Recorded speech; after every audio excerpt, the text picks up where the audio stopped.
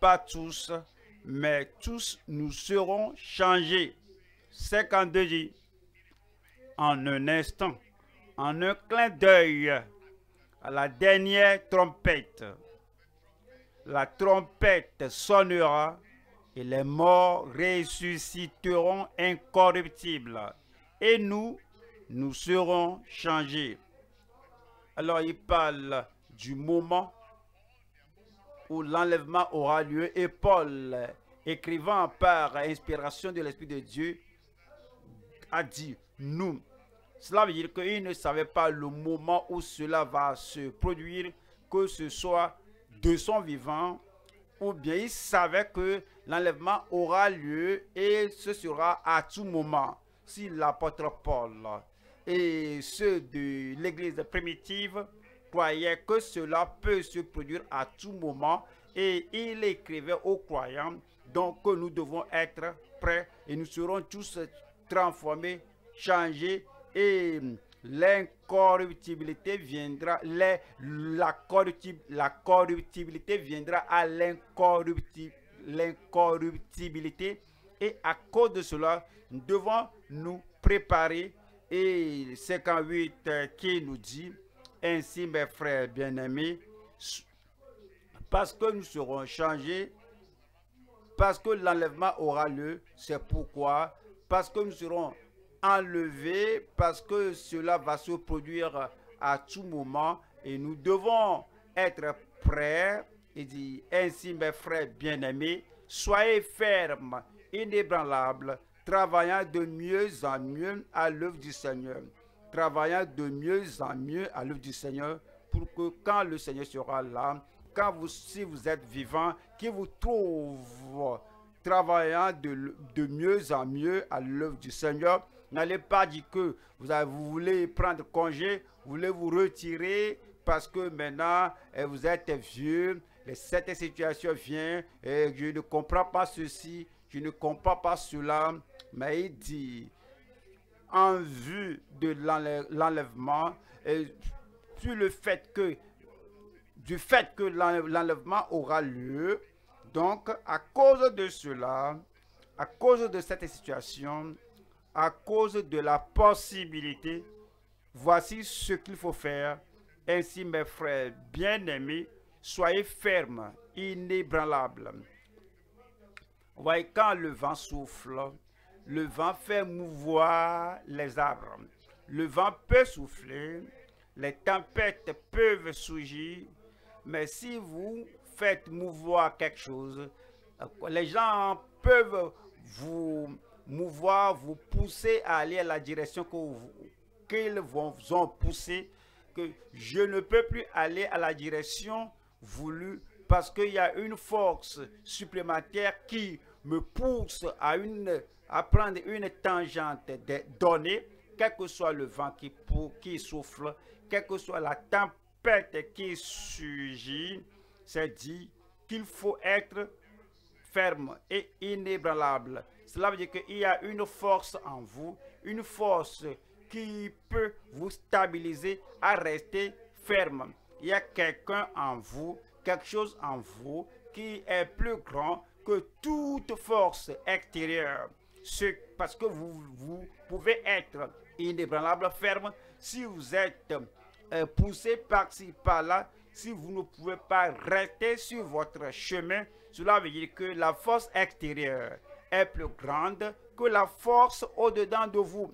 Mais c'est dit, en vue de l'éternité, sous l'angle de l'enlèvement, sous l'angle du fait que Christ peut venir à tout moment, que vous avez le grand, le tout-puissant en vous et la plus grande force en vous, et d'être toujours ferme, inébranlable, travaillant de mieux en mieux. Chaque fois que vous pensez vous reposer, vous pensez vous retirer, vous pensez dire que cette situation n'est pas favorable, je dois me mettre à part mais c'est dit, travaillant de mieux en mieux à l'œuvre du Seigneur. À l'œuvre du Seigneur. Vous ne prenez pas le temps de prendre votre loisir pour l'œuvre de ce monde, pour l'œuvre de la communauté. Ce, à quoi vous vous donnez, c'est l'œuvre du Seigneur. Sachant que votre travail, chaque fois, il faut savoir ceci, en moindre chose, alors tout ce que vous faites pour la gloire de Dieu, les grandes choses que, les grandes choses que vous faites pour le Seigneur, sachant que votre travail, pour tout ce que vous faites pour le Seigneur, sachant que votre travail ne sera pas vain dans le Seigneur. Votre travail n'est pas vain. À cause de cela, vous pouvez et vous devez vous préparer pour l'enlèvement en continuant de, en continuant de travailler pour le Seigneur.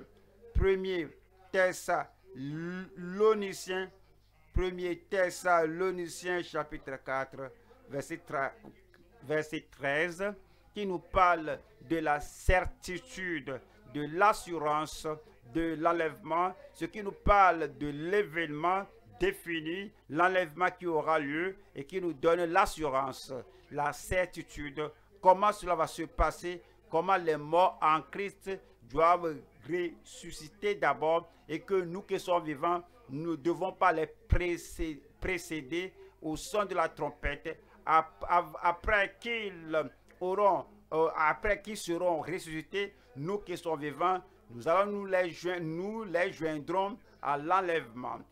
Nous les joindrons dans les airs. Ceci n'est pas le second avènement. Le second avènement viendra après la grande tribulation. Avant la grande, la grande tribulation, nous avons l'enlèvement. Après l'enlèvement, il y a la grande tribulation. Et après sept ans, le Seigneur viendra avec les saints. Au temps de l'enlèvement, le Seigneur viendra pour les saints. C'est pourquoi c'est dit en 1 Thessaloniciens, chapitre 4, 13. Nous ne voulons pas, frères, que vous soyez dans l'ignorance au sujet de ceux qui dorment, afin que vous ne vous affligiez pas comme les autres qui n'ont point d'espérance. Les gens qui ne savent pas parler de, qui ne savent rien de l'enlèvement, ils croient que tout ce qui leur arrive dans ce monde est la fin du jeu, que tout ce que le diable peut jeter contre eux, c'est fini. Tout ce que la communauté fait contre eux, que c'est fini. Ils ne comprennent pas que la vie après la mort est plus longue que la vie avant la mort. Ils ne comprennent pas que lorsqu'on va à l'au-delà, après le tombeau, la vie commence, ce sera pour toujours. Parce qu'ils ne comprennent pas cela, ils mènent comme s'il n'y a pas d'espoir. Ils pensent comme il n'y a pas d'espoir. Ils mènent leur vie comme il n'y a pas d'espoir. Et ils sont rejetés, déprimés, opprimés, disant qu'est-ce qu'on peut faire? La vie est misérable. Mais Paul dit, par l'Esprit, je ne veux pas qu'un croyant, qu'un enfant de Dieu, il nous appelle frère au sujet de ceux qui sont, que ceux qui sont déjà morts, que lui, il ne veut pas car il ne veut pas qu'il soit comme des gens qui n'ont pas d'espoir, des gens qui n'ont pas d'espérance. Alors, des gens, quand les gens meurent, 20 ans, 25 ans, 50 ans, les gens continuent de s'affliger parce qu'ils n'ont pas d'espérance. Mais dans le cas des enfants de Dieu, nous avons l'espérance et votre espérance va demeurer au nom de Jésus-Christ. Le verset 14 dit, car si nous croyons, c'est la condition, car si nous croyons que Jésus est mort et qu'il est ressuscité, pourquoi dit cela? Que je vous ai appelé frère dans le verset 13. Comment êtes-vous devenu frère? Comment êtes-vous devenu sœur si vous croyez que Jésus est mort et qu'il est ressuscité et que vous confessez sa résurrection d'être la source de votre salut et de votre rédemption. Donc, vous êtes sauvés. C'est Romains chapitre 10, 9 et 10. Mais si réellement vous croyez que Jésus-Christ est mort et qu'il est ressuscité, alors croyons aussi que Dieu ramènera par Jésus et avec lui ceux qui sont morts. Et le verset 15 nous dit, voici en effet ce que nous vous déclarons d'après la parole du Seigneur. Nous, il, ouais, il compte aussi sa personne et il se compte ici, il compte Pierre, nous, il compte Timothée et Tite, il dit nous, nous les vivants, nous qui sommes vivants dans cette époque, chaque génération doit comprendre que l'enlèvement peut se produire au temps de euh, cette génération. Et nous, les vivants, rester pour l'avènement du Seigneur, nous ne devancerons pas ceux qui sont morts. Et puis il dit au verset 16, verset 16, car le Seigneur lui-même a un signal donné à la voix d'un archange et au son de la trompette de Dieu, descendra du ciel et les morts en Christ ressusciteront premièrement. Les morts en Christ ressusciteront premièrement. Les morts en Christ. Ils ont cru au Seigneur. Ils sont enfants de Dieu. Ils ont la grâce de Dieu dans leur vie. Ils professent et possèdent le salut du Seigneur au temps où ils étaient vivants. Et lorsque Christ viendra à l'enlèvement, les morts en Christ ressusciteront premièrement. Et le verset 17 dit, ensuite, nous, les vivants, il a répété cela. L'apôtre Paul a dit, nous, et dit nous, comme Timothée, Tite, Épaphrodite, comme tous les compagnons, tous les croyants à Thessalonique, et dit ensuite, nous, les vivants, qui seront restés, nous serons tous ensemble à lever avec eux sur des nuées, c'est-à-dire ceux qui sont morts et qui sont maintenant ressuscités, nous n'allons pas les empêcher, nous n'allons pas les devancer. Il écrivait comme si l'enlèvement pouvait se produire en son temps. Et que pourquoi a-t-il écrit de cette manière? Parce que nul ne connaît l'heure, ni l'heure, ni le temps où l'enlèvement se produira. C'est le concept que vous devez avoir, c'est la compréhension qu'on doit avoir quelle est la dernière chose que Christ me trouvera faire à son avènement? Si je sais que le Seigneur peut venir à tout moment lorsque je suis seul, lorsque les autres, aucun croyant n'est pas avec moi, lorsque le diable dit que tu es libre de faire ce que tu peux faire maintenant, tu peux agir de toute manière que tu le veuilles. Alors, que la, pensée du croyant, du croyant est que l'enlèvement peut avoir lieu à tout moment. Nous qui sommes vivants, Qu'est-ce que je veux que Christ me voit faire à son avènement? Et si je me trouve à la croisée des chemins, et si je me trouve dans une situation épineuse et la tendance est là de compromettre et de, se, de succomber à la tentation de fléchir devant le péché, si je me trouve parmi les incroyants au, au, au, boulot, si je me trouve parmi les incroyants dans ma famille, dans ma famille collatérale, et le défi vient et la pression vient. Voici ce qu'il faut faire. Ne nous dis pas que tu es chrétien, que tu es de la vie profonde. Voici ce qu'il faut faire. Et si je me trouve dans la frustration, si je me trouve dans le découragement, et puis le diable me murmure que en ce temps de découragement, est-ce que tu vas continuer constamment comme tu le faisais? Je dois me rappeler que l'enlèvement peut arriver peut se produire à tout moment. Et à cause de cette compréhension, à cause de cette révélation, à cause de cette connaissance, je vais dire que je ne sais pas la dernière chose que je serai, que je serai, je ne sais pas la dernière fois que je serai en train de faire pour que, que Christ viendra me trouver. Et peut-être tu es malade, tu as prié et le, et le Seigneur veut examiner ta foi, t'éprouver et ne t'a pas guéri de façon instantanée et puis les gens, euh, les gens disent que, disent que, regarde ceci maintenant, après tout, ton église a prié, ceci est arrivé, et maintenant tu es encore comme ça. Nous connaissons un lieu, nous allons t'amener. Et voudrez t'amener à un lieu d'occultisme, un lieu de pouvoir euh, maléfique, un, lieu de domination satanique qui dit qu'est-ce que je peux faire maintenant? Je suis très malade, j'éprouve la douleur, la douleur que tu éprouveras après la mort si tu vas à la mauvaise direction. La douleur là sera plus terrible, ce sera pour l'éternité. Si tu succombes à l'époque là, je ne connais pas, je ne sais pas la dernière maladie que j'aurai lorsque Christ viendra. Ma, mon âme doit se préparer mon esprit doit se préparer. C'est pourquoi l'apôtre Paul dit que, quel que soit ce qu'on traverse, peut-être on est lapidé, on peut nous fouetter, quel que soit ce que nous traversons, les défis peuvent venir et on ne peut pas connaître la source. Mais c'est dit ici que ensuite nous les vivants qui seront restés, nous serons tous ensemble enlevés avec eux sur des nuées à la rencontre du Seigneur dans les airs. Lorsque vous rencontrez le Seigneur dans les airs, alors cela va payer, cela va payer pour tout ce que vous avez traversé, les oppressions, les défis, les difficultés. Lorsque vous rencontrerez le Seigneur, une minute avec le Seigneur, cinq minutes avec le Seigneur, à l'autre côté, lorsque vous serez avec lui au ciel, cela va payer pour tout ce que vous avez souffert. Vous allez tout oublier. Et, ainsi, nous, et, et ainsi, nous serons toujours avec le Seigneur. Et ainsi, nous serons toujours avec le Seigneur. Et le verset 18 dit, Consolez-vous donc les uns les autres par ces paroles.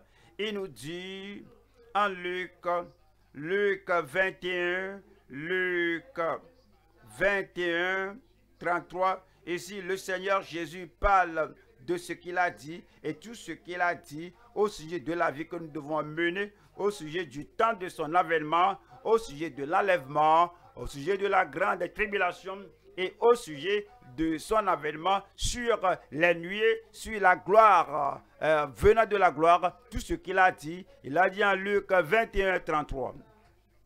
Le ciel et la terre passeront, mais mes paroles ne passeront point.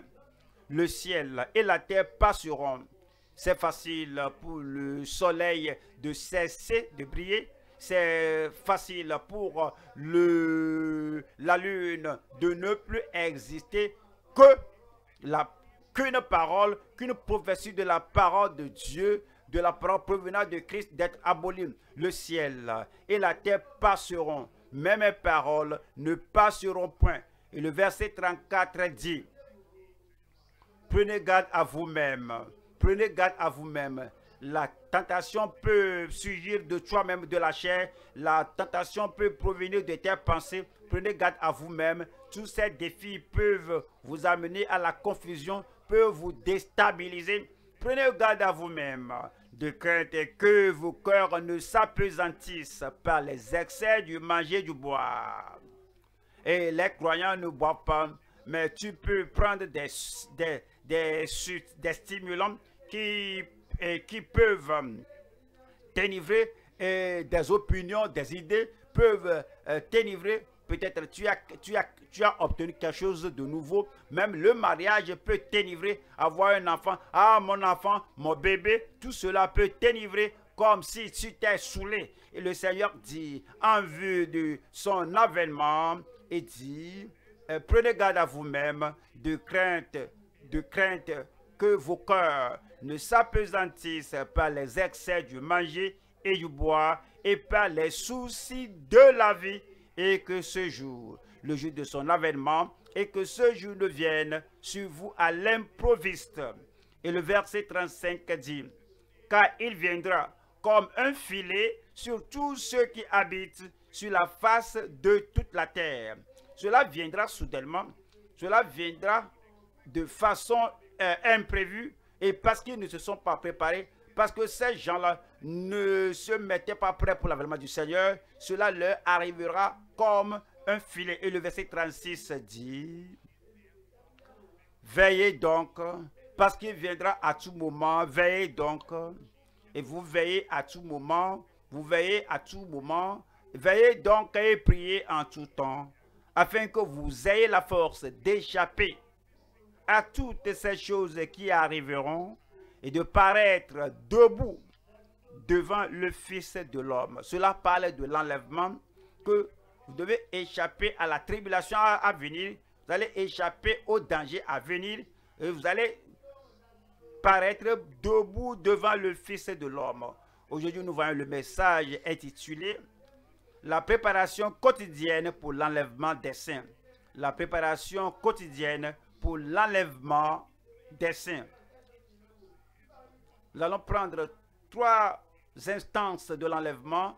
Euh, l'autre euh, de, euh, de Enoch, Élie et du Seigneur Jésus-Christ. Nous allons voir comment nous préparer et être à préparer, chaque jour préparé, la nuit préparée, le jour préparé et à tout moment comment nous ne devons pas nous oublier que nous devons être prêts chaque jour pour l'enlèvement des saints. Comprenez, ce n'est pas l'enlèvement des pécheurs, mais l'enlèvement des saints. Comprenez, ce n'est pas l'enlèvement de l'église nominale, de, l'église religieuse, c'est l'enlèvement de l'église militante, de l'église triomphante, de l'église juste, euh, qui est l'épouse de Christ. Nous allons voir trois points ici. Premier point, vivre dans la justice et marcher continuellement avec Dieu. Vivre dans la justice et marcher continuellement avec Dieu. Deuxième point, c'est libérer, restaurer et marcher courageusement par sa grâce. Et puis le numéro 3, regarder avec responsabilité. Il y a des gens qui regardent quelqu'un, mais ce sont des gens irresponsables. Il y a des gens qui, considèrent un événement de façon occasionnelle. Mais ils ne parlent pas du fait de regarder et on, on regarde seulement. Non, on agit avec responsabilité. Regardez avec responsabilité et prêcher l'évangile avec compassion. Premier point, c'est vivre dans la justice et marcher continuellement avec Dieu. Nous allons à l'événement qui s'était produit sur Enoch. On va à Genèse 5. Genèse 5, verset 22. Enoch, après la naissance de Methuselah, marcha avec Dieu 300 ans et il engendra des fils et des filles. Enoch est, marié, mais il a marché avec Dieu. On ne, on sait rien de sa femme, si elle était croyante ou pas. On ne connaît pas son niveau spirituel. Mais ici, euh, si, euh, ses enfants ou sa femme ont de niveau spirituel bien élevé, le Seigneur les aurait enlevés. Mais il croit que euh, que leur père, eux là, ils croient que leur père est excentrique, que leur père est allé au-delà de la planète. Ils croient que leur père apprend la religion de trop loin. Leur père embrasse la fidélité, la sainteté à Dieu euh, de très loin et il n'était pas enlevé, mais Enoch, malgré ses enfants, sa femme, ses filles, il a marché avec Dieu. Il marcha avec Dieu. Le verset 24 nous dit, Enoch marcha avec Dieu, encore un accent mis ici. Enoch marcha avec Dieu, puis il ne fut plus parce que Dieu le prit. Il ne fut plus parce que Dieu le prit. Il y a des gens dans l'ancienne alliance, dans l'Ancien Testament, qui ont expérimenté et qui ont fait de grandes expériences et des expériences futures du Nouveau Testament. L'enlèvement est fait pour l'Église. Ceux qui meurent en Christ seront ressuscités et ceux qui vivent encore et qui demeurent en Christ, ils seront pris, enlevés. C'est pour l'Église. Cependant, Enoch l'a expérimenté avant le temps de Moïse, avant le temps des prophètes, avant le temps des rois. Et dans le cas d'Enoch, il n'avait il n'avait pas de parole, il n'avait pas de doctrine, il n'avait pas de révélation pour l'enlèvement. Et la révélation qu'il avait, c'est la révélation que Dieu a donnée à Adam et Ève. Que parce que tu as mangé de ce fruit, certainement tu mourras. Et tu es poussière et tu retourneras à la poussière. Et c'est tout ce qu'il avait Cependant, il a marché avec Dieu sans prophétie, sans promesse et sans aucune proclamation de l'enlèvement. Il a expérimenté l'enlèvement. Et nous qui avons la, promesse de l'enlèvement, la prophétie de l'enlèvement, la possibilité de l'enlèvement, si Enoch a pu marcher avec Dieu à travers cela, et combien a peu fort raison pour nous, les enfants de Dieu. Nous allons voir trois sous-thèmes ici. Un, la foi qui espère et plaît continuellement à Dieu. La foi qui espère et plaît continuellement à Dieu. 2. La fidélité exceptionnelle dans un pèlerinage consistant avec Dieu. Marcher avec Dieu, le pèlerinage consistant avec Dieu. La, Et puis trois, l'intrépidité exemplaire pour prêcher courageusement pour Dieu. La première partie, qu'est-ce qu'il faut pour que nous soyons prêts, pour que nous soyons préparés pour l'enlèvement Il faut, numéro un, la foi qui espère et plaît continuellement à Dieu. C'est dit en Hébreu chapitre 11. Nous allons voir le verset 5. Hébreu 11, verset 5. C'est pas la foi qu'Enoch fut enlevé. C'est pas la foi qu'Enoch fut enlevé en son temps. Toute, les, toute la communication de Dieu avec lui euh, est bien crue. La parole de Dieu qui peut, pouvait écouter, il y croyait. Il ne regardait pas son, son entourage. Dans chapitre 5, avant chapitre 6, chapitre 6 nous dit que le monde entier était corrompu, ils étaient violents, mauvais, tous allaient euh, à, la dérive et leur vie était mauvaise et l'anarchie était l'ordre du jour. Mais Enoch s'était séparé, il a cru au Seigneur et Enoch marchait avec la foi, la foi qui sauve, la foi qui pardonne, la foi qui purifie, la foi qui lave un homme, nettoie l'homme de toute la corruption de ce monde. Et la foi qui, qui, qui fait vivre selon la parole de Dieu. C'est pas la foi qu'Enoch fut enlevé pour qu'il ne vit point la mort, pour qu'il ne goûta point la mort, pour qu'il n'expérimenta point la mort, et qui ne parut plus parce que Dieu l'avait enlevé. Parce que Dieu l'avait prise, Dieu l'avait enlevé, car avant son enlèvement, il avait reçu le témoignage qu'il était agréable à Dieu. Le ciel a rendu témoignage au sujet d'eux. Enoch qu'il a plu à Dieu. Les anges ont donné le témoignage qu'il a plu à Dieu. Les gens qui pouvaient le voir, le Dieu Tout-Puissant qui pouvait le voir dans tous les coins, derrière la porte fermée, derrière le rideau. Dieu peut voir ses pensées, sa vie. Dieu a rendu témoignage qu'il était agréable à Dieu, le Tout-Puissant. A tout dit. Et les gens à la maison, sa femme peut ne pas s'accorder avec sa, avec sa position non compromettante. Cependant, sa femme a dit que cet homme, quel que soit ce que tu fais, quelle que soit tes taquineries, cet homme-là est décidé de plaire à Dieu. Pendant trois, 300 ans, un long moment, alors en le regardant, en, allant derrière lui, en, en observant tout ce qu'il faisait, alors il a reçu le témoignage de plaire à Dieu, d'être agréable à Dieu. Il ne va pas être agréable à la chair, au monde, à la communauté. Il ne va pas satisfaire les hommes euh, euh, avec sa position de justice. C'est ce qu'il faut pour être prêt, qualifié pour l'enlèvement. Avoir la foi, la foi en Dieu, que nous allons marcher avec la foi, nous allons vivre par la foi. Les gens peuvent s'accorder ou non, les gens peuvent persécuter, s'opposer, critiquer et peut aussi avoir plus de problèmes parce que vous avez décidé de plaire à Dieu. La foi qui apprête pour l'enlèvement, c'est la foi qui plaît à Dieu à tout moment en marchant par la foi. Deuxième Corinthiens 5. Deuxième Corinthiens chapitre 5. Nous lisons le verset 6. Deuxième Corinthiens 5, verset 6. Nous sommes donc toujours pleins de confiance et nous savons qu'en demeurant dans ce corps, nous demeurons loin du Seigneur.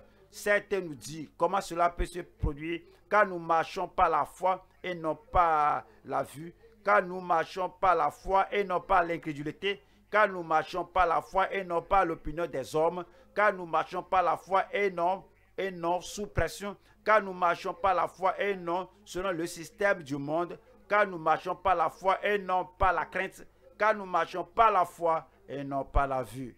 Et le verset 8 nous dit, nous sommes pleins de confiance et nous aimons mieux quitter ce corps et demeurer auprès du Seigneur. Nous voulons mieux nous absenter du cœur, quitter ce corps et, et, et demeurer auprès du Seigneur. Pour l'apôtre Paul, l'enlèvement peut se produire à tout moment et nous qui sommes vivants, nous serons enlevés Oui. Et nous aussi, on peut mourir. Oui, on sera absent du corps, on quittera ce corps, l'esprit quittera le corps, mais l'esprit ira immédiatement pour demeurer auprès du Seigneur. Mais si nous allons demeurer auprès du Seigneur, soit que ce soit pas la mort ou pas l'enlèvement, il faut la foi. Et voici la foi qu'il faut dans le Nouveau Testament. Nous allons au Galates chapitre 2. Galates chapitre 2 et le verset 20 nous dit, verset 20, j'ai été crucifié avec Christ. Pourquoi? Je m'apprête pour l'enlèvement. Et si je vis, ce n'est plus moi qui vis. alors, ce n'est pas, je n'ai pas euh, mes idées personnelles pour contrôler ma vie et sucer ma vie. Et si je vis, ce n'est plus moi qui vis, c'est Christ qui vit en moi. Si je vis maintenant dans la chair, je suis encore dans la chair, mon esprit, mon âme sont encore sous cette chair. Je vis maintenant dans la, je vis dans la foi au Fils de Dieu qui m'a aimé et qui s'est livré lui-même pour moi. Il m'aime et s'est livré lui-même pour moi. À cause de cela, nous vivons par la foi, nous marchons dans la justice par la foi. Numéro un, c'est la foi euh, qui espère et plaît continuellement à Dieu. Deux, la fidélité exceptionnelle dans un pèlerinage consistant avec Dieu. La fidélité exceptionnelle dans un pèlerinage, dans un pèlerinage consistant avec Dieu. Michée chapitre 6, 8. Michée 6, 8. Michée 6, 8. Michée 6, 8.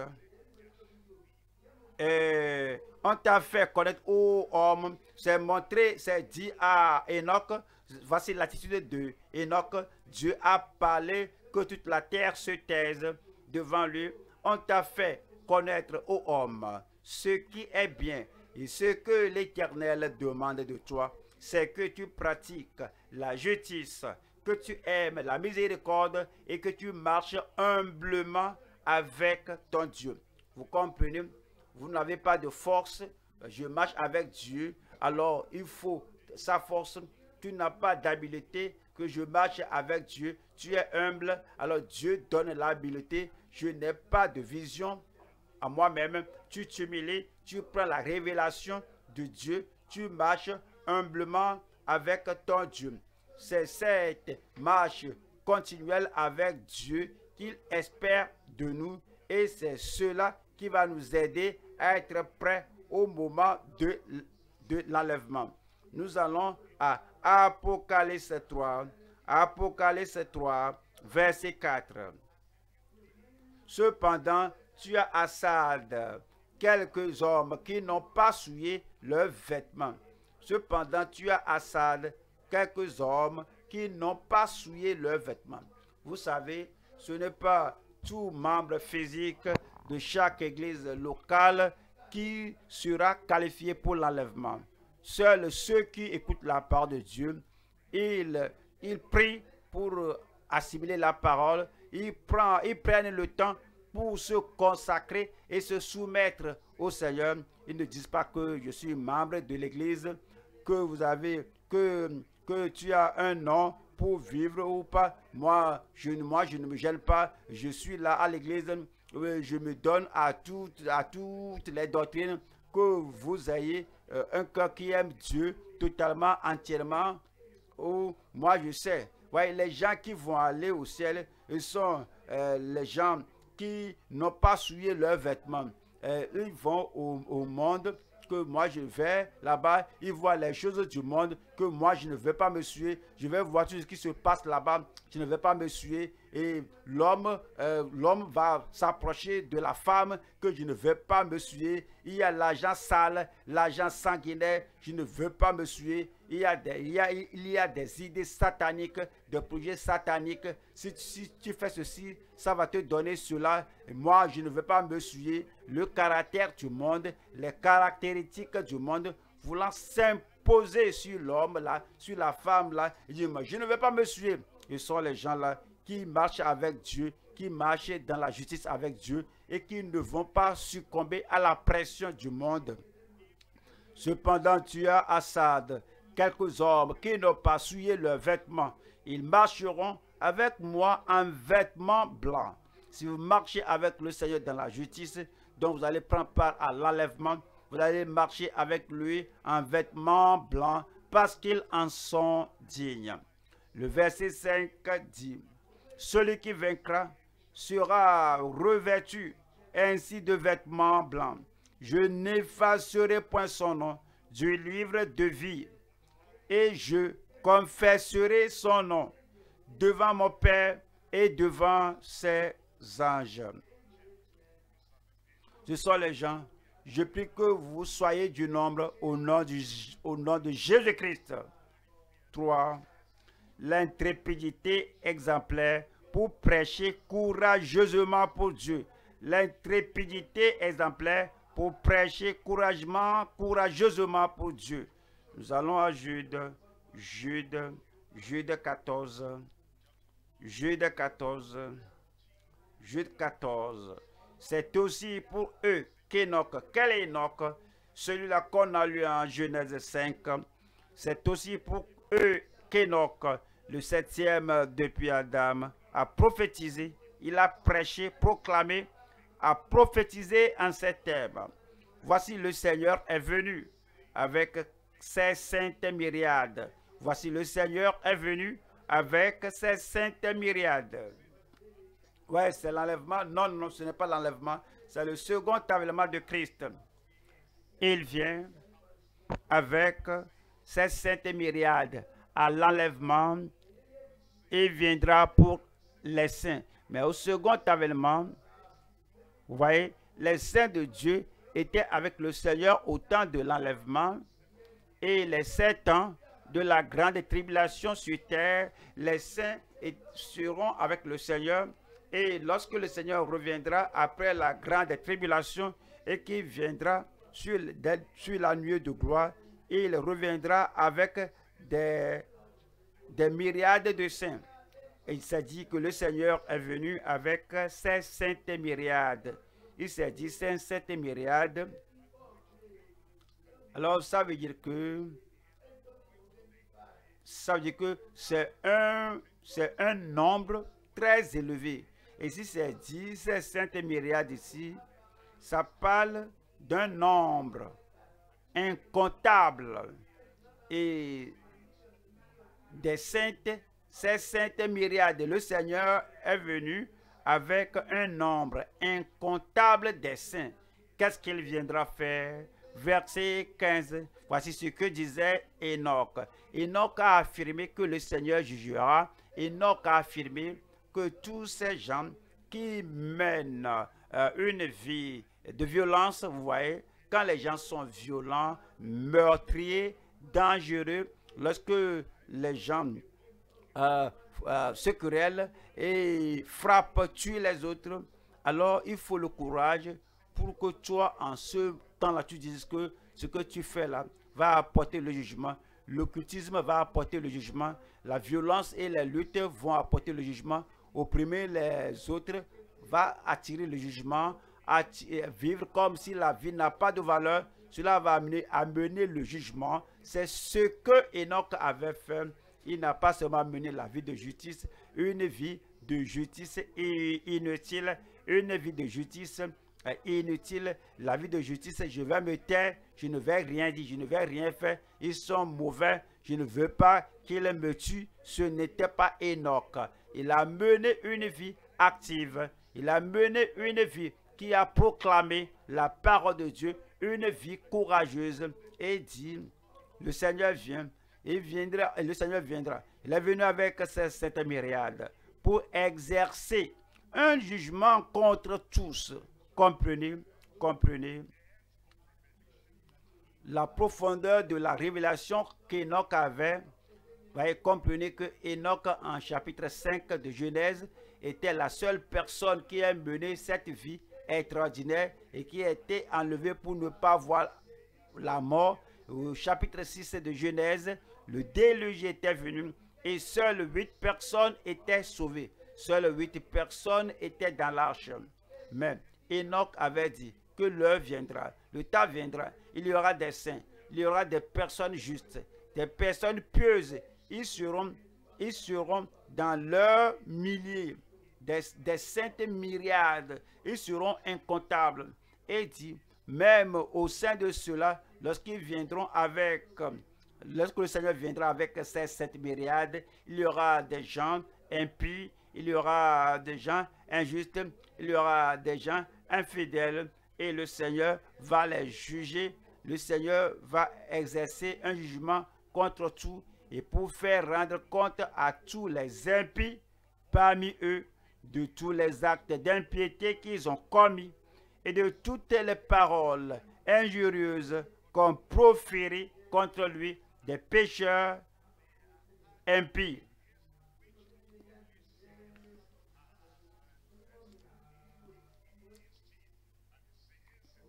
Et c'est dit au verset 16, c'est Jude maintenant qui nous parle.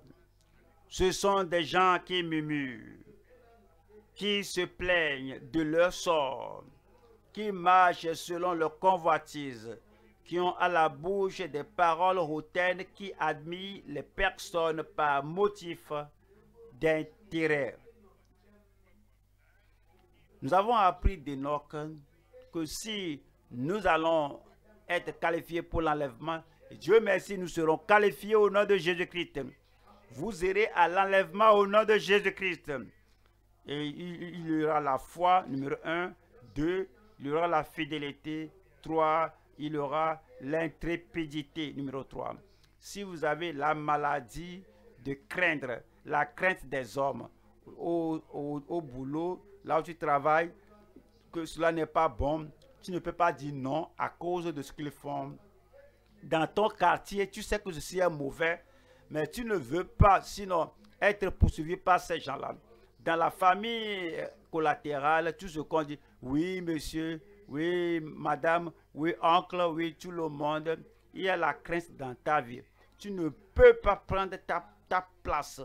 Et l'Église ne sait pas là où tu te, tu, tu te trouves ta famille ne, ne, connaît pas, ne sait pas ta position, la communauté, le quartier ne, ne sait pas ta position. Et hein, les beaux vieux jours, on, on, on, sait là où tu te positionnes. Maintenant, parce que tu vieillis maintenant, on ne sait pas où tu te tiens. Et parce que la crainte maintenant a pris la place de la foi en toi. Mais Enoch est allé en enlèvement parce qu'il n'avait pas la crainte des hommes, la crainte de, la société, la crainte de ce, ce que les gens diront. Si les gens n'ont pas fait ceci et cela, comment je vais sinon subsister? Il n'avait pas cette crainte. Si on doit aller à l'enlèvement, numéro un, il faut la foi. Deux, il faut la fidélité. Trois, il faut l'intrépidité. Nous allons maintenant au deuxième point. C'est libérer, restaurer et marcher courageusement par sa grâce. On va à deux rois, deux rois, deux rois, chapitre 2, deux rois 2, verset 1. Lorsque l'Éternel fit monter Élie au ciel dans un tourbillon, c'est l'enlèvement. Lorsque l'enlèvement aura lieu, le Seigneur va enlever ceux qui sont sauvés ceux qui mènent une vie sans compromission, ceux qui sont en mesure de tenir ferme contre les Jézabel du jour, contre les Akabes du jour, et ils sont en mesure de mener une vie sans compromission devant les gens qui contrôlent l'âge, qui contrôlent le moment. Et ils sont en mesure de dire non à cela, non à l'autre là. Au fait, Akab a appelé Élie son ennemi. Et, il n'avait pas peur euh, de cette expression. M'as-tu trouvé mon ennemi? Les gens qui seront à l'enlèvement, ils seront comme Élie. Et lorsque l'Éternel fit monter Élie au ciel dans un tourbillon, lorsque l'enlèvement aura lieu, le Seigneur prendra son Église au ciel. Et dans un tourbillon, Élie partait de Gilgal avec Élisée. Verset 3. Les fils des prophètes qui étaient à Bethel sortirent vers Élisée et lui dit, Sais-tu que l'Éternel enlève Sais-tu que l'Éternel enlève aujourd'hui ton maître au-dessus de ta tête? Voilà les gens qui iront à l'enlèvement, ce ne sont pas des croyants cachés, qu'on ne sache pas s'ils iront au ciel ou pas, s'il y a le doute dans la vie des gens, la façon dont ce, cette, cette soi-disant sœur mène sa vie, euh, euh, peut-elle être, être qualifiée pour l'enlèvement? La façon, la façon dont celui-ci est hypocrite, il est malhonnête. Et si on dit que si il y a quelque chose ici, elle va dire autre chose. Cette personne qui manque comme ça là, est-ce que cette personne peut aller au ciel? Les gens qui seront qualifiés pour le ciel, les gens qui les connaissent peuvent dire la différence que voici ces gens, ils sont le, peuple de Dieu, ils ne disent pas non quand il faut dire oui, ils ne disent pas oui quand il faut dire non. Et sais-tu que l'Éternel aujourd'hui, sais-tu que l'Éternel enlève aujourd'hui ton maître au-dessus de ta tête? Verset 5. Les fils des prophètes qui étaient à Jéricho s'approchèrent d'Élysée et lui dit, sais-tu que l'Éternel enlève aujourd'hui ton maître au-dessus de ta tête? Regardez cela, ces gens avaient la connaissance que Élisée euh, va partir, que Élie du moins sera enlevé, mais il n'avait pas la passion, n'avait pas le désir. Si cet homme a plu Dieu, a plu à Dieu, s'il a fait le de Dieu, le Seigneur a sait que oui, que le Seigneur sait qu'il a tout fait il a, il a fait ses devoirs, c'est l'heure pour lui de venir à la, au ciel et le Seigneur va envoyer un chat spécial pour lui. Si un tel homme peut, si un homme peut être comme ça, moi je veux être comme cet homme-là. Eux là, ils ont joué avec la révélation, ils ont plaisanté avec la révélation, ils ont badiné avec la révélation. Et sais-tu que l'Éternel enlève aujourd'hui ton maître au-dessus de ta tête? Y a-t-il des gens comme ça dans notre église? et, ils connaissent l'enlèvement? Ils peuvent citer des versets de l'enlèvement. Ils peuvent nous dire que ça peut se produire à tout moment. Ils peuvent dire à leurs voisins que je crois à l'enlèvement. Je crois que Jésus reviendra. Il viendra à tout moment. Mais ils n'agissent pas comme des gens qui croient cela. Ils ne mènent pas la vie comme s'ils croient cela. Au, cours de la journée, euh, au cours de leur interaction avec les gens, ils n'agissent pas comme si réellement ils croient à l'enlèvement qui aura lieu à tout moment. Ne soyez pas pareil, ne soyez pas comme les fils de prophètes qui disent que c'est dit que l'Éternel enlève aujourd'hui ton maître, que Élie sera enlevé ce jour. Le verset 9 dit, lorsqu'ils eurent passé, c'est-à-dire traversé le Jourdain, Élie dit à Élisée, demande ce que tu veux que je fasse pour toi? Regardez ceci. Avant que je sois enlevé d'avec toi. Non seulement que euh, d'aucuns ont su, mais aussi que Élie sera enlevé.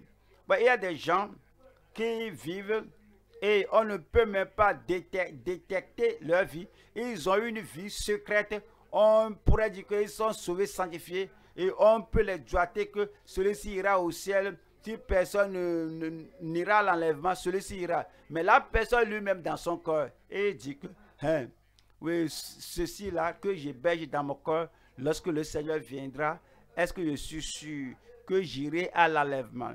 Il y a des gens qui, qui disent que comme euh, je joue, euh, comme, comme je fais mon jeu et, tout le monde dit que je suis monsieur cet été, on m'appelle madame cet été, il croit ainsi. Mais est-ce que je suis sûr que j'irai au ciel? Mais Élie, était, sûr et dit, demande ce que tu veux que je fasse pour toi avant que je sois levé d'avec toi il faut mener votre vie à telle enseigne que vous auriez et le témoignage de l'Esprit de Dieu en vous, que selon la parole de Dieu, que vous soyez transparent, vous soyez saint, que vous sachiez que au, son de la trompette, je sais que j'irai. Je prie que notre vie soit si transparente au nom de Jésus-Christ. Voilà le verset 11. Verset 11. Comme il continuait à marcher en parlant, et que voici par la grâce de Dieu, le char est venu du ciel et il a pris, il a pris Élie et il a pris dans un char de feu des cheveux de feu, les séparés, les séparés.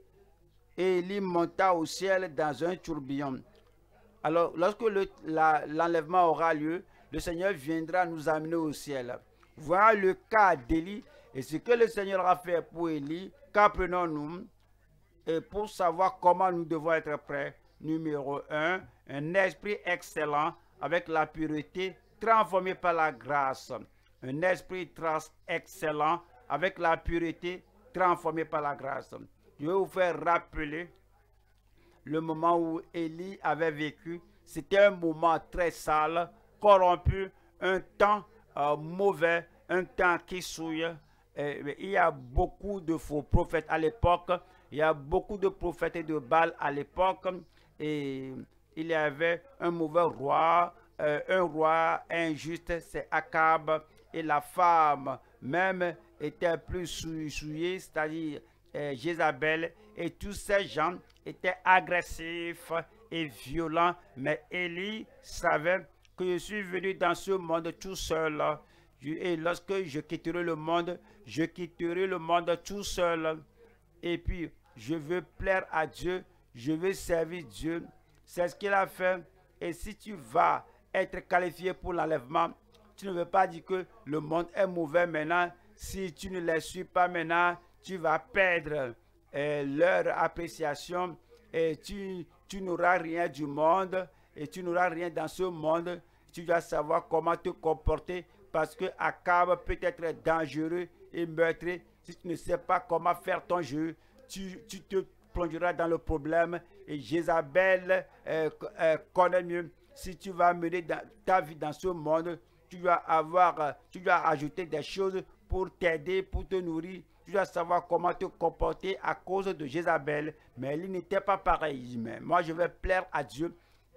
Que cela plaise à quelqu'un ou pas, c'est leur décision, c'est leur opinion. Quant à moi, je vais vivre pour plaire au Seigneur. C'est ce qu'il faut. Si nous allons être qualifiés à l'enlèvement, nous allons voir trois sous-thèmes ici. Un esprit excellent avec la pureté transformée par la grâce. Deux, un esprit extraordinaire et la puissance pour tourner les autres vers Dieu. Et trois, un esprit expressif et la perception de l'enlèvement à la gloire. Un esprit, expressif et la perception de l'enlèvement à la gloire. Numéro un, un esprit excellent avec la pureté transformée par la gloire, par la grâce.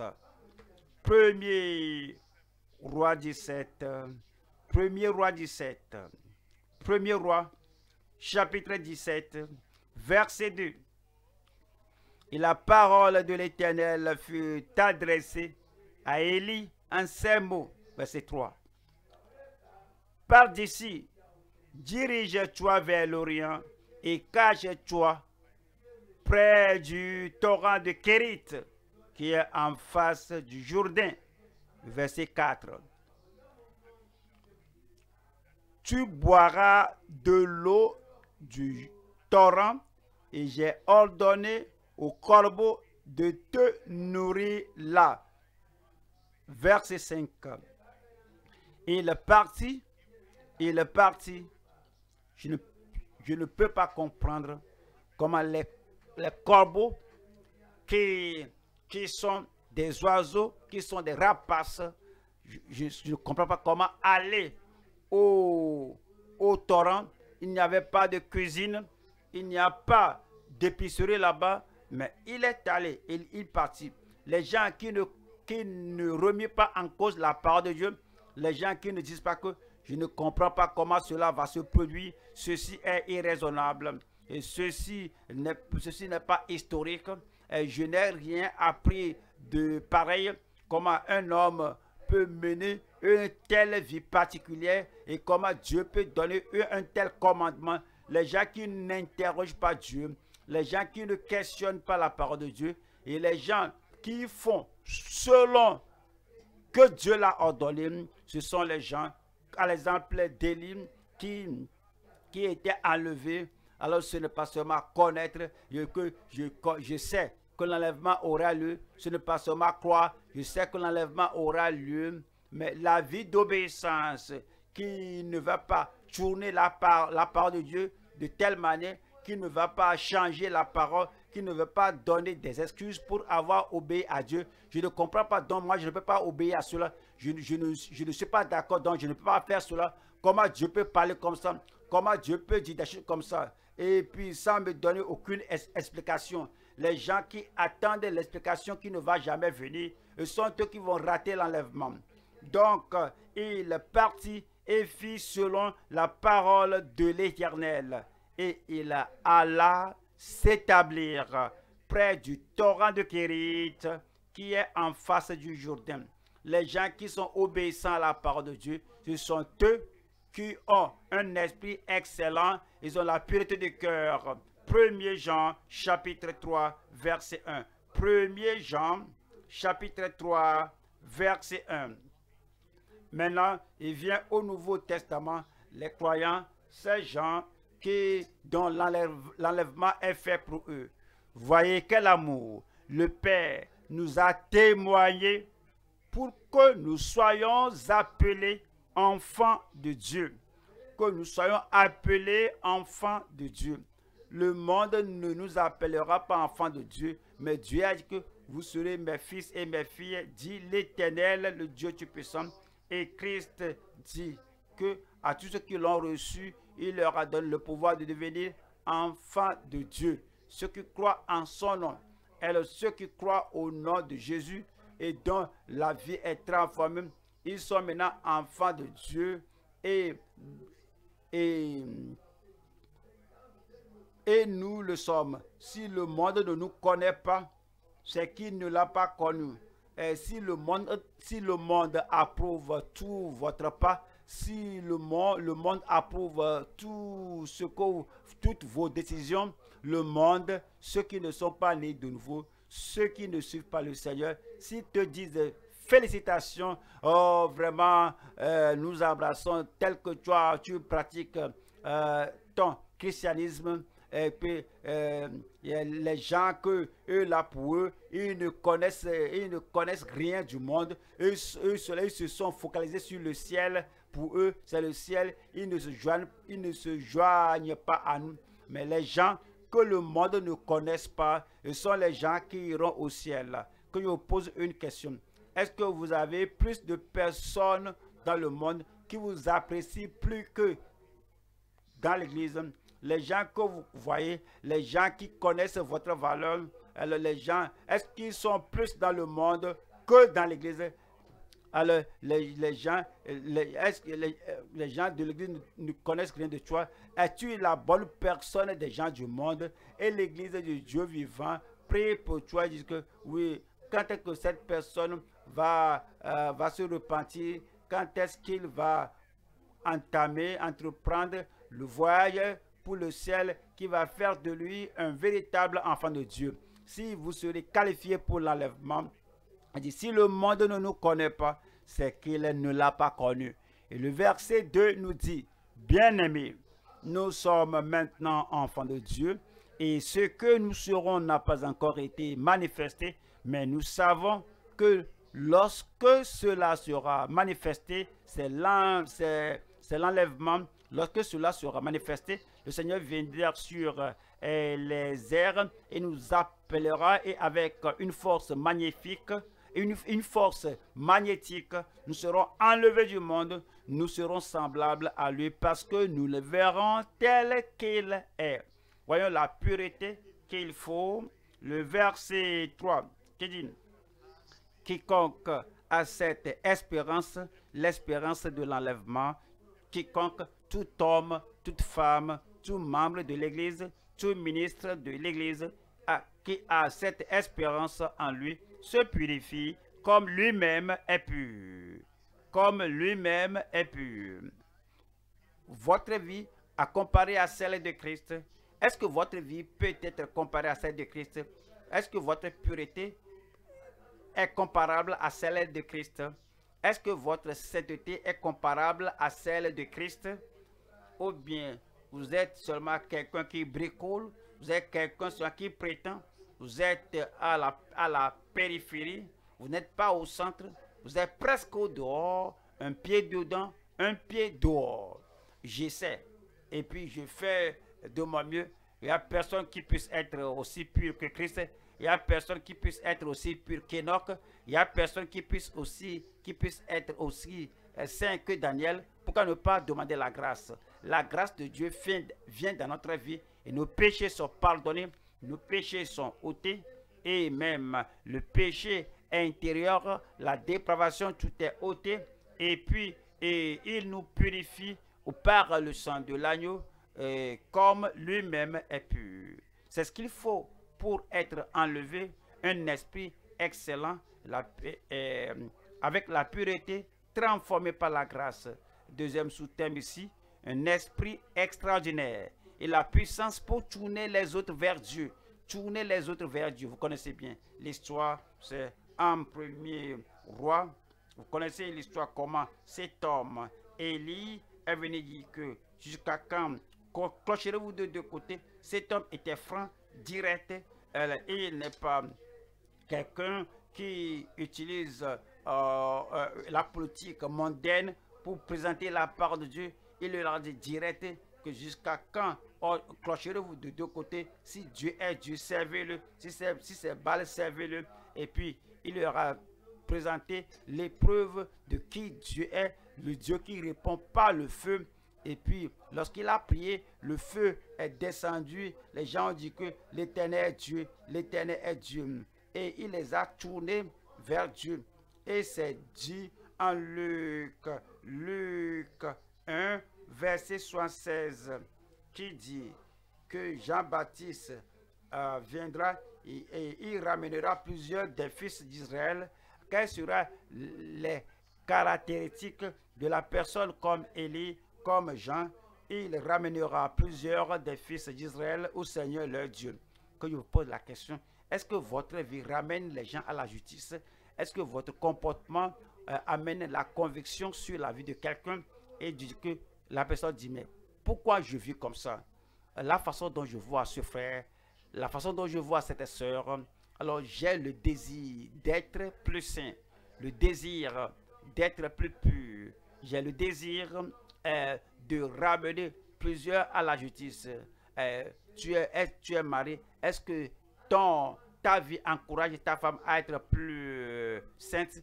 Est-ce que ta vie encourage tes enfants à être plus purs? Tu es ouvrier, ou là où tu travailles. Est-ce que ta vie, ton engagement et ta fidélité et ton intrépidité, est-ce que cela encourage les autres pour les ramener à la justice? tu es membre de l'église, un membre de la cellule de maison, un membre dans l'église locale, la façon dont tu vis, la façon dont tu parles, est-ce que ta vie, sans parler du ministère ou la prédication, mais est-ce que ta vie ramène les autres à la justice? Mais tu sais, dans le cas d'Élie, alors il avait un esprit extraordinaire euh, et la puissance pour tourner les autres vers Dieu.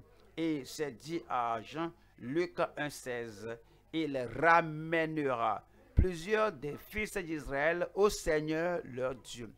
Plusieurs des enfants d'Israël, il ramènera plusieurs des fils d'Israël au Seigneur leur Dieu. Comprenez? Il y a des gens qui disent qu'ils sont enfants de Dieu, ils disent qu'ils sont ouvriers, qu'ils sont dirigeants, ils sont pasteurs, mais ils n'ont pas de péché qu'ils ont ramené au Seigneur. Je sais que vous conseillez, je sais que vous touchez la vie des autres, je sais que vous aidez les autres, je sais que vous encouragez les autres, mais vous savez, tous les gens que vous encouragez, ce sont les gens que les autres ont tourné vers le Seigneur, les autres ont ramené au Seigneur. Tous ceux que tu dis que et que tu les diriges, tu les aides et sont les disciples d'autrui, ce que les autres ont ramené au Seigneur. Toi-même, par la vie que tu mènes là, par ton témoignage, par ta prédication, par ton ministre, par ton ministère du moins, as-tu ramené quelqu'un au Seigneur? Mais voyez comment on voit Lélie, comment il était qualifié pour l'enlèvement. Voici la qualité qu'on voit dans sa vie. Et il ramènera plusieurs des fils d'Israël au Seigneur leur Dieu. Et le verset 17 dit, cela nous dit très clair, il marchera devant Dieu avec l'esprit et la puissance d'Élie. Avec l'esprit et la puissance d'Élie. Il faut savoir que ces deux choses, ces deux choses sont jointes, l'esprit et la puissance. Quelqu'un dit que j'ai l'esprit de Dieu. Où est la puissance? Je suis baptisé dans le Saint-Esprit. Où est la puissance? Je parle en langue. Où est la puissance? Je suis rempli, saturé de l'esprit de Dieu. Où est la puissance? L'évidence de l'esprit, cet, cet esprit extraordinaire, le baptême dans le Saint-Esprit, c'est la puissance. Vous recevrez une puissance. Le Saint-Esprit survenant sur vous, vous serez mes témoins à Jérusalem, dans la Judée et dans la Samarie, et puis jusqu'aux extrémités de la terre. Alors, il marchera devant Dieu avec l'esprit et la puissance d'Élie pour ramener les cœurs des pères vers les enfants et les rebelles à la sagesse des justes, vers les enfants et les rebelles à la sagesse des justes. Tu dis que tu es dirigeant. il y a des gens qui sont rebelles, désobéissants, et tu ne les as jamais influencés pour, pour les détourner de leur, de leur désobéissance vers la justice, vers la sagesse du, du juste. Quel type de dirigeant es-tu? Quel ministre es-tu? Tu, n'as pas la sagesse pour les détourner de la désobéissance. Tu n'as pas le courage pour les détourner de la rébellion. Et tu as même peur d'eux ils sont plus grands que toi. Et les désobéissants, les rebelles sont plus grands que toi. Et tu ne peux pas les influencer à la bonne direction. Les gens qui seront qualifiés pour l'enlèvement sont, numéro un, ceux qui sont purifiés par la transformation de la grâce de Dieu dans leur vie. Numéro deux, ils, avaient, ils ont la puissance pour détourner les autres. Leur vie va changer la vie des autres leur prédication va changer la vie des autres. Leur disposition va changer la vie des autres. Leur influence va changer la vie, la vie des autres. Ils vont, ils vont détenir les gens de la désobéissance à la, à la, à la sagesse afin de préparer au Seigneur un peuple bien disposé. Ils sont les gens qui s'apprêtent pour l'enlèvement et qui, et qui les autres pour l'enlèvement du Seigneur. Toi ici, un esprit expressif et la perception de l'enlèvement à la gloire. La perception de l'enlèvement à la gloire. Il savait qu'il avait une perception, une compréhension, une illumination. Il savait, il connaissait, euh, il savait de, du très fond de son cœur qu'il sera enlevé. Et après cela, après, euh, à part le fait que les autres étaient, à, part le fait que les, autres soient, euh, soient au courant, il est courant lui-même qui sera enlevé. Et nous qui sommes enfants de Dieu, nous ne sommes pas ignorants, même quoi que nous ne sachions pas le jour, le temps où le Seigneur viendra, mais nous savons que le Seigneur viendra. Nous avons la perception et nous vivons selon cette compréhension et nous vivons selon cette compréhension, nous vivons avec cette perception, nous vivons avec cette connaissance, nous vivons avec cette conscience que le Seigneur viendra à tout moment et nous savons que plus tôt que tard, que le Seigneur, son avènement ne sera pas prolongé, mais quand vous voyez ces choses, sachez-le que le temps est proche. Nous allons à 1er Corinthiens 5, 1er Corinthiens chapitre 5, verset 4. 1er Corinthiens 5, 4. Mais vous, frères, vous n'êtes pas dans les ténèbres, vous avez l'illumination. Vous, frères, frères vous n'êtes pas dans les ténèbres, vous avez la perception, Mais vous, frères, vous n'êtes pas dans les ténèbres pour que ce jour vous surprenne comme un voleur. Verset 5 nous dit, vous êtes tous des enfants de la lumière. Si vous êtes enfant de lumière, la lumière brille, toutes les circonstances autour de vous. Si vous êtes enfant de lumière, la lumière, lui, votre, sur votre, votre sentier. Vous avez la bonne perception. Vous êtes tous des enfants de, de la lumière et des enfants du jour. Nous ne sommes point de la nuit ni des ténèbres. Et le verset 6 dit, ne dormons donc point comme les autres, ne dormons donc point pour devenir euh, inconscients, ne dormons donc point pour devenir oublieux comme les autres, ne dormons donc point pour tout oublier, oublier le jour, oublier euh, euh, le passé, le présent, le futur, oublier où nous sommes. Lorsqu'on s'endorme, peut-être vous avez un rêve de quelque chose de fantastique, de réel. Ne dormons donc point comme les autres, mais veillons et soyons sobres. Est-ce que tu sais que Christ vient, mais veillons et soyons sobres? Est-ce que tu es illuminé de l'enlèvement, mais veillons et soyons sobres? Est-ce que tu sais que c'est plutôt que tard, mais veillons et soyons sobres? Est-ce que tu as la perception que le Seigneur vient? Il, il sera ici à tout moment et il ôtera les saints, mais veillons et soyons sobres. Et si tu n'es pas veillant, veillant, si tu n'es pas vigilant, c'est l'opposé. C'est l'opposé. Si tu n'es pas veillant, tu es frivole, tu es ici et là, et tu fais dissiper tes énergies, ton énergie. Tu n'es pas une personne focalisée, tu n'es pas préparé, tu n'es pas sobre. Et dit que oui, c'est parce que nous avons la perception que Christ vient et dit, mais veillons et soyons sobres. Le verset 7 nous dit, car ceux qui dorment, dorment la nuit, et ceux qui s'énivrent, s'énivrent la nuit. faut pas vous énivrer euh, d'une idée euh, que vous avez conçue. Ne soyez pas énivrés de ceci et cela. Et tout ton enthousiasme, ce sont des choses de dehors, mais tu n'es pas prêt pour l'enlèvement du Seigneur. Car ceux qui dorment, dorment. Car, et ceux qui s'énivrent, s'énivrent la nuit. Le verset 8 dit, mais nous qui sommes du jour, soyons sobres, ayant revêtu la cuirasse de la foi et de la charité, et ayant pour casque l'espérance du salut. Verset 9. Car Dieu ne nous a pas destinés à la colère, mais à l'acquisition du salut par notre Seigneur Jésus-Christ. Allons au troisième point maintenant. Troisième point. Nous allons voir euh, cette partie qui est regarder avec responsabilité et prêcher l'évangile avec compassion. Nous regardons avec responsabilité et nous prêchons l'évangile avec compassion. Et nous allons aux actes. Actes chapitre 1, verset 8. Acte 1, verset 8. Acte 1, verset 8. Mais vous recevrez une puissance. Le Saint-Esprit survenant sur vous. Et vous serez mes témoins à Jérusalem,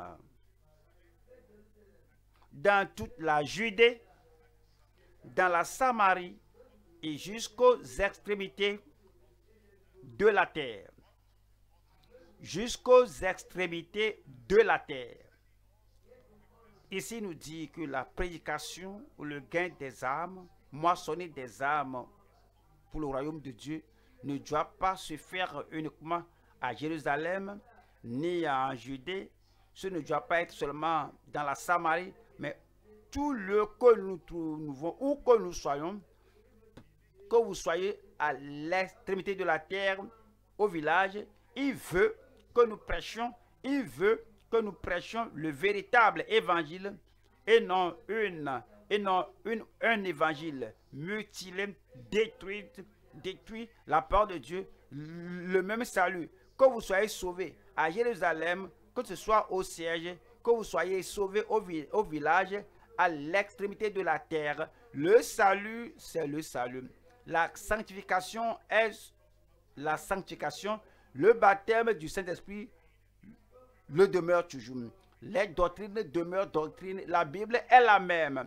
Et la pureté que nous devons avoir, la pureté transparente et la puissance demeurent les mêmes que ce soit au village, dans une région lointaine ou au siège. Tu ne peux pas dire que oui, c'est parce que nous sommes au village et notre expérience, nos, expériences ne peuvent pas être les mêmes comme euh, celles de Jérusalem. Et le verset 9 nous dit que voici, le Seigneur Jésus était ôté de la terre. Après avoir dit cela, il fut élevé pendant qu'il le regardait et une nuée le déroba à leurs yeux. On a vu Enoch, on a vu Élie, maintenant nous voyons le Seigneur Jésus-Christ et il était élevé et, une nuée le déroba à leurs yeux. Le verset 17 dit, on lui disait là où il était allé, et comme ils avaient les regards fixés vers le ciel, c'est là où il était allé, comme il était monté. Pendant qu'il s'en allait, voici deux hommes vêtus de blanc leur apparurent. Et le verset 11 nous dit, et dit, Homme galiléen, pourquoi vous arrêtez-vous à regarder au ciel? Pourquoi vous arrêtez-vous à regarder au ciel? Ce Jésus qui a été enlevé au ciel du milieu de vous. regardez ceci. Jésus est allé enlevé au ciel. Voyez, lorsque l'enlèvement aura lieu, nous serons ôtés de la terre, pris de la terre et allés au ciel. Ce Jésus qui a été enlevé au ciel, au ciel du milieu de vous viendra de la même manière que vous l'avez vu allant au ciel. Alors maintenant, nous avons les regards en haut. Nous regardons avec responsabilité, de façon responsable. Titre chapitre 2, titre 2, 13, titre 2, 13. En attendant la bienheureuse espérance, vous devez être enthousiaste. Vous devez être dans l'attente. En attendant la bienheureuse espérance et la manifestation de la gloire du grand Dieu et de notre Sauveur Jésus-Christ. Qu'est-ce qui va se produire avant que, nous, avant que nous ne soyons enlevés et comme nous regardons, nous cherchons la manifestation glorieuse du Seigneur Jésus-Christ? Verset 14. 14 dit qu'il s'est donné lui-même pour nous afin de nous racheter de toute iniquité. C'est ce qu'il faut pour être qualifié pour l'enlèvement, pour profiter de ce que Christ a fait, qu'il s'est donné en sacrifice pour nous racheter de toute iniquité et de se faire un peuple qui lui appartienne, purifié, pas, euh, pas, des, pas des gens communs, pas des gens comme des esclaves de la société, pas, pas le football que tout le monde euh, essaie de jouer, et, mais des gens particuliers, spéciaux, des gens qui iront ce jour-là à l'enlèvement, de se faire un peuple qui lui appartienne, purifié par lui et zélé pour les bonnes œuvres. Nous allons voir trois sections ici. Un ici, première partie ici, c'est la promesse exclusive de l'enlèvement pour les saints. La promesse exclusive, c'est seulement, seulement pour les saints. Cela n'inclut pas les pécheurs. C'est uniquement pour les saints de Dieu. Deux, le modèle exact de l'enlèvement tiré des Écritures le modèle exact de l'enlèvement tiré des Écritures. 3. La préparation expérientielle ou la préparation par expérience pour l'enlèvement avec la fermeté. 1. La promesse exclusive. Ceci est particulièrement, exclusivement au sein de Dieu. Jean chapitre 14, verset 1 Jean 14, 1. Que votre cœur ne se trouble point. Il y aura des, bruits et des, rumeurs et des bruits de guerre des faux prophètes vont surgir, que votre cœur ne se trouble point. Les enfants vont trahir leurs parents, que votre cœur ne se trouble point. Il y aura la commotion, la turbulence, la confusion dans le monde entier, que votre cœur ne se trouble point. On ne sait pas ce qui va surgir demain, ce qui se passe autour de nous, que votre cœur ne se trouble point. Il y a les séducteurs euh, qui séduisent et qui viennent dans les, ils viennent dans l'église, ils séduisent, ils, euh, ils travaillent pour l'antéchrist tout de même, que votre cœur ne se trouble point. Croyez en Dieu et croyez en moi. Verset 2. Il y a plusieurs demeures dans la maison de mon Père. Si cela n'était pas, je vous l'aurais dit. Tout ce que je vous ai dit, c'est la vérité absolue, c'est la vérité de l'évangile. Le ciel et la terre passeront, mais mes paroles ne passeront pas. Si cela n'était pas, je vous l'aurais dit. Je vais vous préparer une place. Et comme je m'en vais, je, vais au ciel, je vous recevrai au ciel, mais je pense à vous, je planifie pour vous, je prépare une place pour vous. Et le verset 3 dit, et lorsque je m'en serai allé, et que je vous aurai préparé une place, je reviendrai, je vous prendrai, c'est l'enlèvement, je, et je vous prendrai. Lorsqu'il viendra au, à la seconde venue, il viendra avec les saints, il ne va plus recevoir, il ne va plus prendre le croyant, il les a déjà pris au temps de l'enlèvement et viendra maintenant pour régner, pour diriger et pour instaurer son royaume dans le monde. C'est au commencement du second avènement. Mais à ce temps-ci maintenant de l'enlèvement, et je vous prendrai avec moi. Il sera dans les airs. Et les morts en Christ ressusciteront et, et il va recevoir les croyants à lui-même, afin que là où je suis, vous y soyez aussi. C'est pourquoi nous, nous espérons, nous attendons ce temps-là. Cela va se produire à tout moment. Et deux, ici, c'est le modèle exact de l'enlèvement tiré des Écritures. Le modèle exact. On a vu cela d'Enoch, on a vu cela de, de on a vu cela du Seigneur Jésus-Christ, notre Seigneur. Voyons Marc 16, verset 19. Marc 16, 19.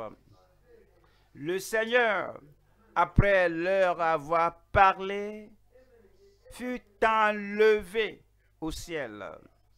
Fut enlevé au ciel.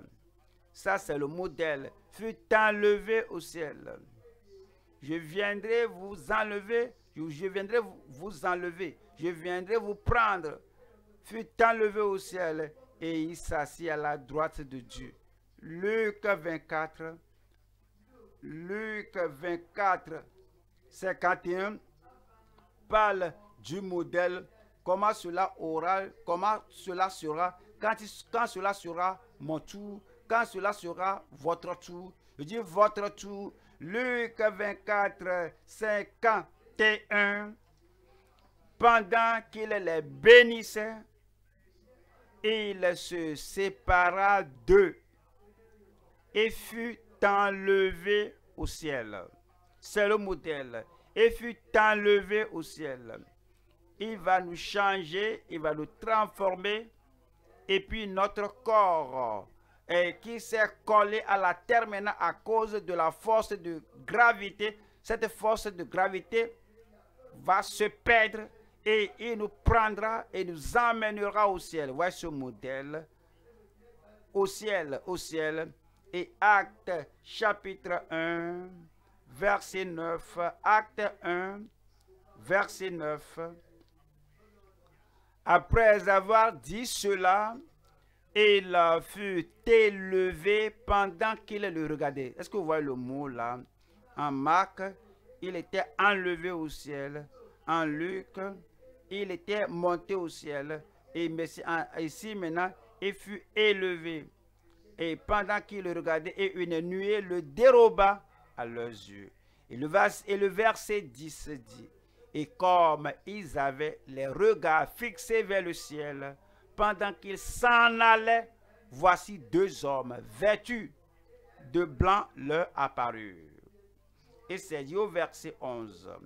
Et dit, Homme galiléen, pourquoi vous arrêtez-vous à regarder au ciel ce Jésus qui a été enlevé au ciel du milieu de vous, qui a été enlevé du, au milieu, qui a été enlevé au ciel du milieu de vous, viendra de la même manière que vous l'avez vu.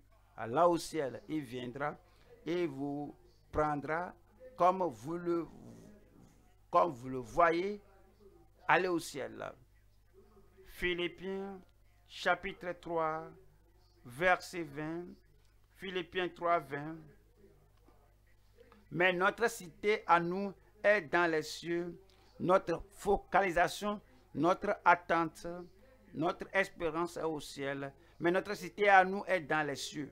D'où nous attendons aussi comme sauveur du ciel, il viendra. Nous attendons le ciel, notre Seigneur Jésus-Christ. Le verset 21 dit, qui transformera le corps de notre humiliation, qui transformera le corps de notre faiblesse, qui, transformera notre corps contrôlé par la force de gravité et, transformera notre corps, notre, et qui transformera le corps de notre humiliation en le rendant semblable au corps de sa gloire. comment était son corps de gloire?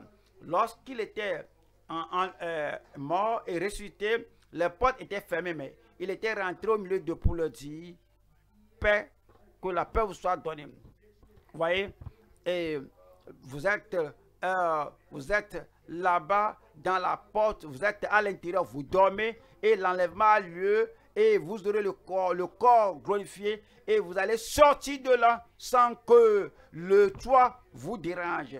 Par le pouvoir qu'il a de s'assujettir à toutes choses. Et trois, la préparation expérientielle pour l'enlèvement avec la fermeté. Maintenant que nous savons que le Seigneur viendra, il veut que nous soyons préparés. notre préparation, c'est d'être avec la fermeté, que nous soyons prêts hier. Ne suffit pas pour aujourd'hui. devez être prêt aujourd'hui, devez être prêt demain, devez être prêt à tout moment. Deuxième Pierre, chapitre 3, 17. Deuxième Pierre 3, 17. Vous donc, bien-aimés, qui êtes avertis, mettez-vous sur vos gardes ce que vous avez appris aujourd'hui. Alors, qui êtes avertis, mettez-vous sur vos gardes, de peur qu'entraînés par l'égarement des impies, vous ne veniez à déchoir de votre fermeté. Il y a des gens qui disent que dès qu'on est sauvé, on est sauvé pour toujours. Dès que tu es sauvé, tout le monde ira à l'enlèvement. Dès que tu es sauvé, il faut savoir que tu es sauvé. Où que tu te trouves, quel que soit ce que tu fais, quelle que soit ta vie, même si tu retournes à l'erreur, même si tu suis les faux prophètes, même si tu marches, si tu travailles, si tu travailles pour le faux prophète, pour le monde, pour les séducteurs, cela n'importe pas. Dès que tu es sauvé, l'enlèvement aura lieu, tu seras là et dit que, ici c'est dit, que vous donc, bien-aimés, qui êtes avertis, mettez-vous sur vos gardes, de peur qu'entraîner, il y a des gens qui ont été séduits, de quand ont été, euh, ont été euh, se, sont, égarés, et mettez-vous sur vos gardes, de peur qu'entraînés par l'égarement des impies, par l'égarement des impies. Les impies ont euh, ont l'égarement. Euh, il y a des prédicateurs méchants, des, des prophètes méchants et qui ont vraiment des erreurs. Ils ont l'égarement qui détruit. De peur qu'entraîné par l'égarement des impies, vous ne veniez à déchoir de votre fermeté et vous dites, mais il y a trop de pression et vous cédez à la tentation. Il y a beaucoup de tentations. Les épreuves sont multiples et les défis du jour euh, sont une ribambelle, euh, sont incomptables et, et vous venez à déchoir de votre fermeté. Vous n'allez pas déchoir. Je prie que vous ne tombiez pas de votre fermeté au nom de Jésus. Aucun d'entre nous ne tombera au nom de Jésus. 18. Mais croissez, continuez de croître. Êtes-vous sauvé?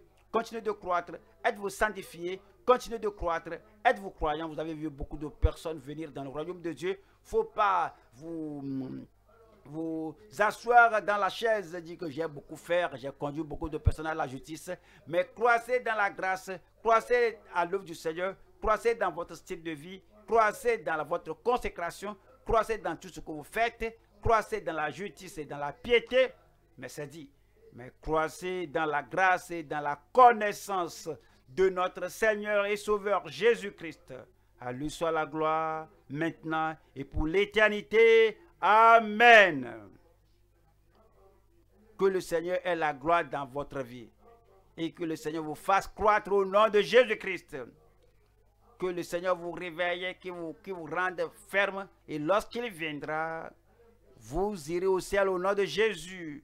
Toutes les tentations prendront fin, les épreuves prendront fin, les, les oppressions prendront fin, les maladies prendront fin, l'inquiétude prendra fin, vous serez à l'autre côté. Il n'y aura pas de nuit, il n'y aura pas de tristesse, il n'y aura pas de faim, il n'y aura pas de soif, il n'y aura pas d'oppression. Vous serez à l'autre côté et le, mal est oublié pour toujours. La souffrance sera oubliée pour toujours. L'oppression est oubliée pour toujours. Les larmes sont oubliées pour toujours. Je prie que ce jour-là, que vous ne le ratiez pas au nom de Jésus-Christ. Euh, euh, soyez donc fermes jusqu'à ce que Christ vienne. Il peut venir ce soir, il peut venir demain, il peut venir à tout moment. Il faut demeurer dans ta position non compromettante et dans la fermeté. Et ce jour glorieux ne nous retrouvera pas non préparés au nom de Jésus. Tenons-nous debout et parlons Seigneur dans la prière. Que le Seigneur lui-même écrive la parole de Dieu sur la table de notre cœur et que nous soyons prêts que nous soyons préparés. Et lorsque le Seigneur viendra, aucun d'entre nous ne soit pris à l'improviste au nom de Jésus-Christ.